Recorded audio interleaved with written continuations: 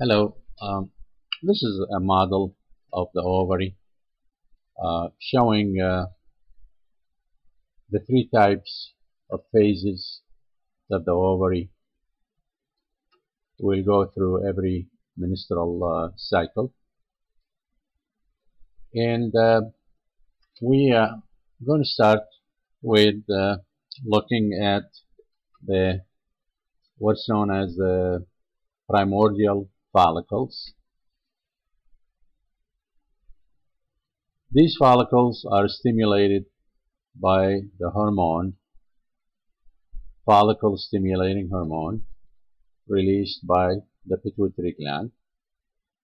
The follicles will change to uh, what is known as the primary follicle and uh, the primary follicle will develop into what is known and shown in here as the secondary follicle.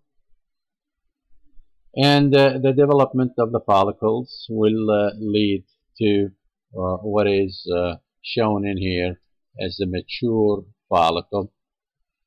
Um, this is also known as the Graafian follicle or vesicular valve follicle.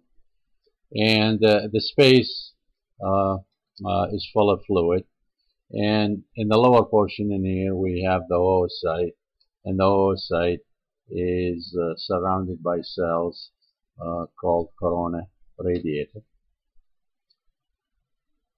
The second phase is the ovulation phase and uh, that is stimulated by a hormone known as the luteinizing hormone or also called ovulation hormone which will lead to the release of the egg from the ovary.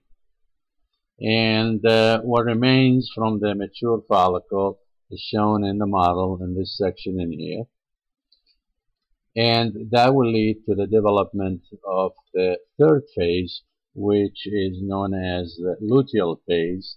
And uh, is represented in here by what is known as the uh, corpus luteum uh, the corpus luteum will remain active as long as the egg is fertilized, but if the egg is not fertilized, then the corpus luteum is going to change to what is known as corpus albicans, and which is commonly known as scar tissue.